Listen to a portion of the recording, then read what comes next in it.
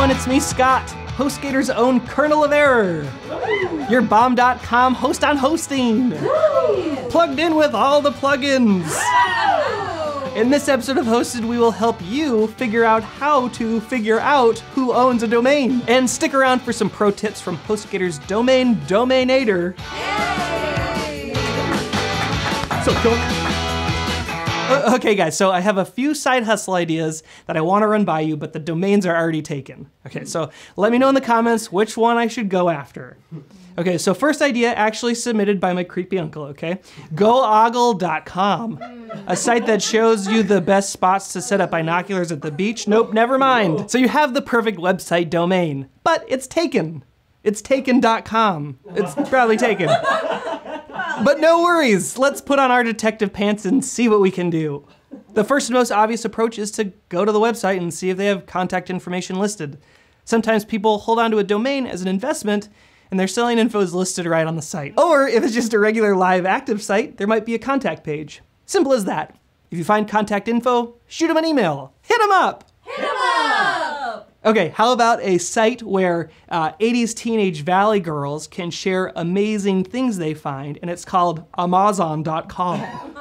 oh my god, that's an Amazon idea. I love it. That's awesome. If their contact isn't listed on the site itself, try the Whois directory at lookup.icann.org.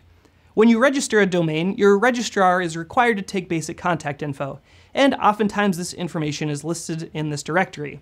If it is, hit them up! Hit 'em up! Okay, what about this one? Here's another one. Okay. Menswearhouse.com, a place where dudes can go and just yell curse words. Come on, it's great. Oh, oh, oh, but what if their info isn't listed in the Whois directory? Well, here with a pro tip about this is my former carpool buddy Josh. What's up, man? How you doing? Hey Scott, how's it going? So what's the deal?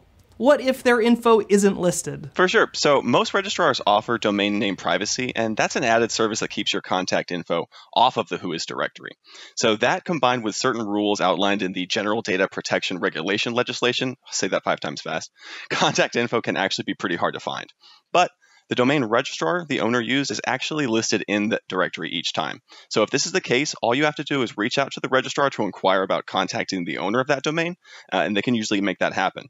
So they may be able to reach out to them on your behalf without actually violating those GDPR policies, which will be GLAD to hear. that, was, that, was, that was probably really cheesy. I'm sorry. So through the registrar, you can. Hit them up. Hit 'em up! Okay, here we go. Here's another idea. Are we ready?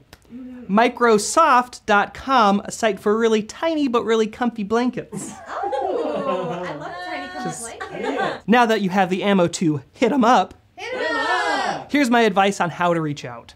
If you can, call them.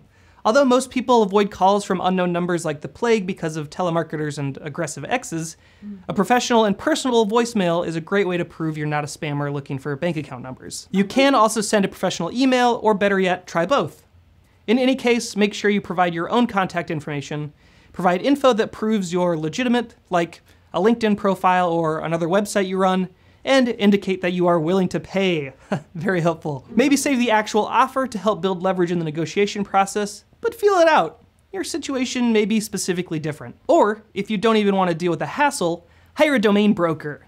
Services like Sedo and Brannans can handle everything from finding the owner to negotiating a price for you. Wow, so nice. Yeah, real nice. Okay, here's one. Disney.com, a site featuring just one of my knees. Not to be confused with Mike's new site, Datney.com. That's registered. How is Datney.com taken? And if none of that sounds appealing to you, pick a new domain. Your idea can't be that good, right? Definitely not as good as menswearhouse.com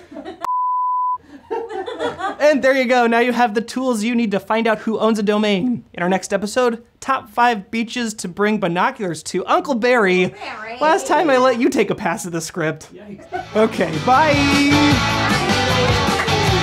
Mike, do you have any domain name ideas? Uh, yeah, I was thinking about Bing.com for all us Chandler fans out there. Ah. yeah, Chandler. I think find... it's taken. I think it's uh, taken. Uh, I don't know, but it'd be a great way to find some friends. oh. oh want to be up here? Maybe we should switch. no.